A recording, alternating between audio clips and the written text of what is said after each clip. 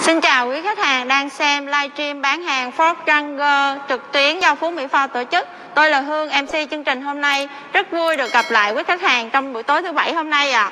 À. À, không biết là mọi người đã vào chưa ạ? À? À, trong khi chờ đợi mọi người vào đông đủ hơn thì chúng ta cùng xem qua một đoạn clip ngắn giới thiệu về hành trình thử nghiệm Ford Ranger vòng quanh thế giới nhé.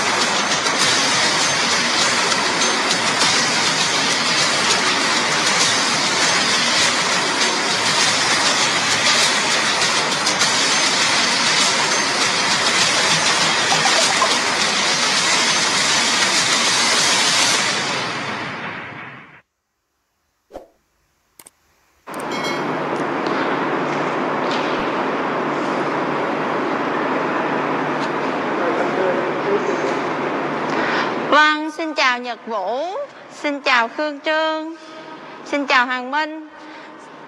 À, không biết là sau khi xem clip này thì mọi người cảm thấy như thế nào ạ? À? Đủ chất không ạ? À? À, và để trải nghiệm chiếc xe này thì quý vị hãy inbox ngay fanpage Phú Mỹ Ford để được trải nghiệm lấy thử chiếc xe với cú pháp là số điện thoại cộng với lại tên dòng xe thì từ đội ngũ tư vấn Phú, của Phú Mỹ Ford sẽ liên hệ ngay đến quý vị khách hàng để đặt lịch ạ. À. À, xin chào à, bạn Dương Hoàng Minh thì có hỏi là làm sao để nhận quà livestream thì không biết là mọi người đã nắm được cú pháp để nhận quà hôm nay chưa ạ à? Vâng, cú pháp hôm nay rất là đơn giản, chỉ cần xe, xe và xe thôi ạ. À. 10 vị khách hàng có cái lượt xe cao nhất hôm nay sẽ được nhận một phần quà từ ờ, Phú Mỹ Pho đó là một chiếc dù.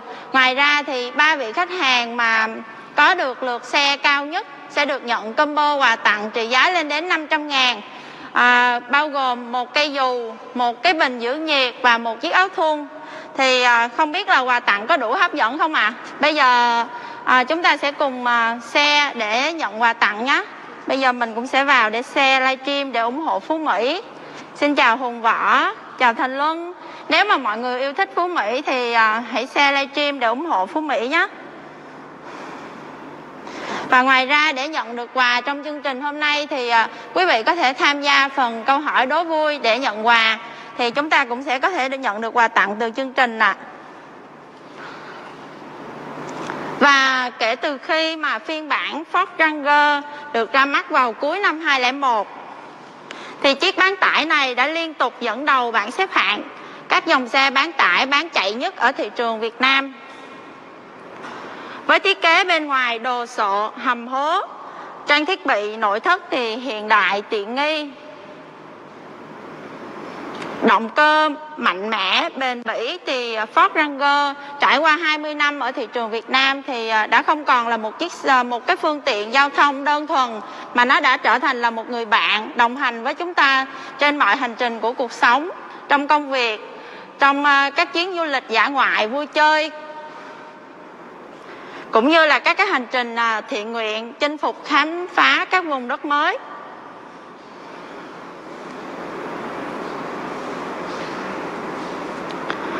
Ford Ranger luôn tự hào là người mở đầu cho trào lưu chơi xe bán tải. Văn hóa chơi xe bán tải dành cho những người ưa thích khám phá chinh phục thử thách để thể hiện mình thể, uh, à, thể hiện những cái uh, đam mê cá tính của mình.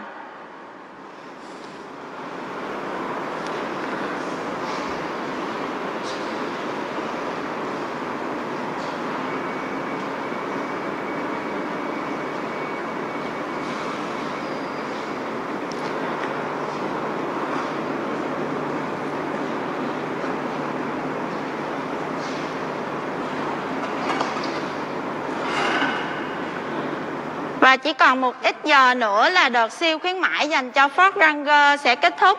À, quý vị hãy nhanh uh, nhanh tay inbox ngay fanpage để đặt hàng à, nhận ngay khuyến mãi khủng hôm nay khuyến mãi hôm nay rất là đặc biệt ạ à. à, mua xe giảm thẳng tiền mặt 20 triệu tặng phụ kiện đi kèm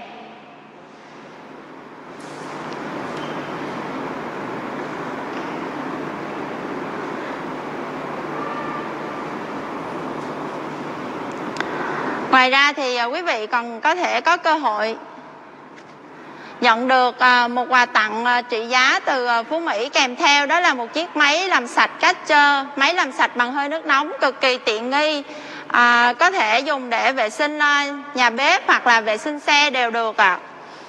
dạ vâng cú pháp rất là đơn giản. Quý khách hàng chỉ cần inbox fanpage comment số điện thoại. Comment số điện thoại à, họ tên dòng xe và nội dung với nội dung là chốt đơn hoặc chốt cọc thì đội ngũ tư vấn bán hàng Phú Mỹ Pho sẽ lưu thông tin lại để giữ khuyến mãi cho quý vị ạ. À. Chỉ còn ít giờ nữa thôi là chương trình khuyến mãi sẽ kết thúc rồi ạ. À. Chúng ta nhanh tay inbox fanpage để nhận quà. Và đến với livestream hôm nay thì chúng ta sẽ cùng đón xem một số nội dung đó là trải nghiệm mua hàng cùng Phú Mỹ Pho, giải đáp thắc mắc cùng đội ngũ Phú Mỹ. Ngoài ra thì chúng ta còn tham gia trò chơi đố vui trúng thưởng. Dạ vâng, tiếp theo sau đây xin mời à, quý vị khách hàng cùng à, tham xem qua trải nghiệm mua hàng tại Phú Mỹ Pho ạ. À. Xin cảm ơn.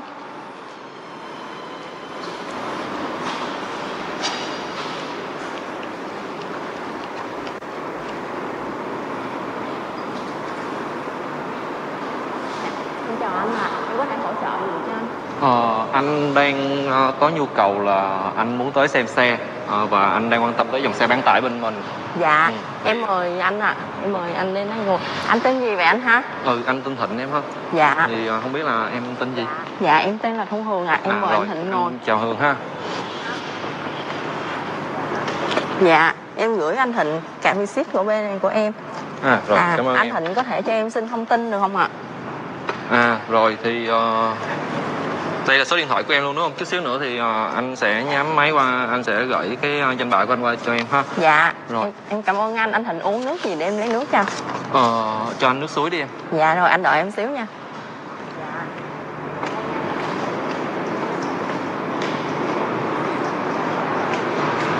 cảnh ngành ô tô tại Việt Nam gặp nhiều khó khăn do ảnh hưởng của đại dịch Covid-19, lượng xe tiêu thụ giảm dẫn đến doanh số hầu hết các phân khúc xe cũng lao dốc. Trong đó, xe bán tải là một trong những phân khúc có mức sụt giảm doanh số cao nhất trong năm 2020. Theo báo cáo bán hàng từ Hiệp hội các nhà sản xuất ô tô Việt Nam VAMA trong năm 2020, tổng lượng xe bán tải tiêu thụ tại Việt Nam chỉ đạt 19.697 xe, giảm 13,5%, tương đương 3.070 xe so với năm 2019. Trong số những mẫu xe bán tải được các doanh nghiệp phân phối tại Việt Nam trong năm 2020, Ford Ranger vẫn được người tiêu dùng ưa chuộng nhất. Số liệu bán hàng cho thấy có đến 68% khách hàng mua xe bán tải trong năm 2020 đều lựa chọn Ranger. Đây cũng là mẫu xe bán tải duy nhất tại Việt Nam trong năm 2020 đạt doanh số bán trung bình trên 1.100 xe mỗi tháng. Thậm chí doanh số bán của Ford Ranger trong cả năm 2020 còn nhiều gấp đôi tổng doanh số của các đối thủ. À, hiện tại bây giờ thì à, các bạn thấy là đối với dòng xe Everest và dòng xe Ranger của Ford Việt Nam đang chiếm những cái thị phần rất cao. À, ví dụ như dòng xe Ranger hiện tại đang tăng trưởng với 70% so với dòng xe bán tải tại thị trường Việt Nam. Thì trong đó ở Phú Mỹ cũng đang tăng trưởng với cái dòng xe này rất cao. Trong khi đó, ở chiều ngược lại, các đối thủ bám đuổi Ford Ranger lại đang tỏ ra hụt hơi. Toyota đã nỗ lực tung ra thị trường bản nâng cấp mới của Hilux, tuy nhiên kết quả kinh doanh của mẫu xe này lại càng khiến thương hiệu Nhật Bản thêm đau đầu. Năm 2020, doanh số bán Toyota Hilux chỉ đạt 2.642 xe, giảm 221 xe so với năm 2019. Mitsubishi cũng đã rất nỗ lực để gia tăng sức hút cho Triton, nhưng doanh số bán mẫu xe này cũng chỉ dừng lại ở mức 2.247 xe, giảm 422 xe so với năm 2019. Trong khi đó, Mazda BT50 đang lao dốc không phanh với kết quả kinh doanh năm 2020 đạt 1.329 xe, giảm 565 xe so với năm 2019. Vị trí cuối cùng thuộc về Isuzu D-Max. Năm vừa qua, mẫu xe này chỉ bán được 188 xe, giảm gần một nửa so với năm trước đó. Tuy nhiên, với việc Isuzu D-Max, Mazda BT50 thế hệ mới hứa hẹn sẽ về Việt Nam trong thời gian tới. Cùng với việc Ford Việt Nam sẽ tung phiên bản Ranger lắp ráp trong nước từ quý 2 năm 2021, phân khúc xe bán tải trong năm 2021 dự báo sẽ ngày càng cạnh tranh.